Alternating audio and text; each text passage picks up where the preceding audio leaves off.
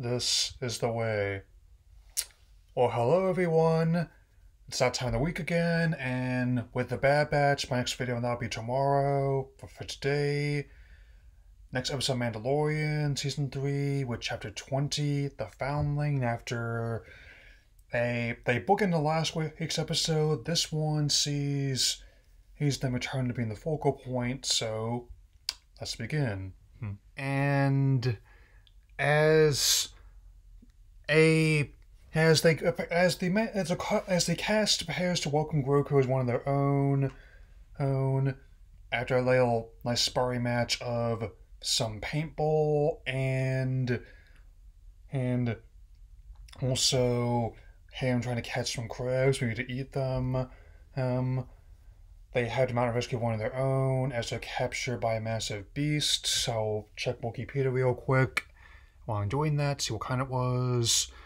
Also recount how this episode contains a key flashback of Grogu's past, and not only is this where the connections to who who the Book of Fett come in, so I recommend watching that if you haven't yet. It also connects to the Obi-Wan Kenobi event series, I mean, is in a way especially as of all characters, Ahmed Best plays a new, character. Apparently, is a mythosaur, or that's or tried to catch the catch the oh, it's a pterosaur that tried to catch them, and it was Ragnar, and also because well, and turns out his master, her, or at least one of the people who helped teach him the Jedi Temple, was was Kelleran Beq, played by Ahmed Best. I mean, I mentioned this about a year ago. How I was talking about Obi Wan or so, how and Hayden Christensen's performance, but also so Sim.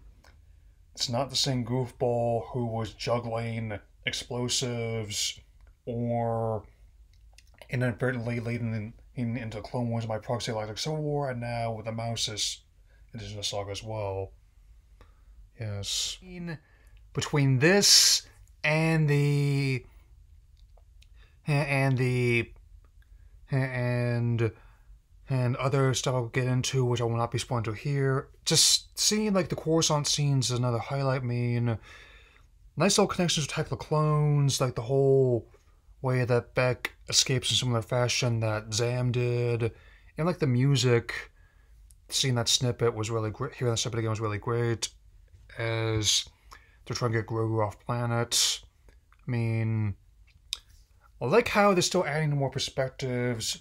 There's like a lot happens in happened in 19 years between episodes 3 and 4 and while yet more details that imply sequel is technically still canon so sorry haters I actually also still don't mind the taking all the time they need with the next movie movie whatever Taika has planned I'm definitely interested in seeing it whenever it comes out anyway only have a few episodes of Bad Batch left I'm gonna have to once again make a swap next week. I mean, since it's going to be the double finale, I want to prioritize that. And I will definitely hey, see you all again very soon. Take care, everyone. Mm.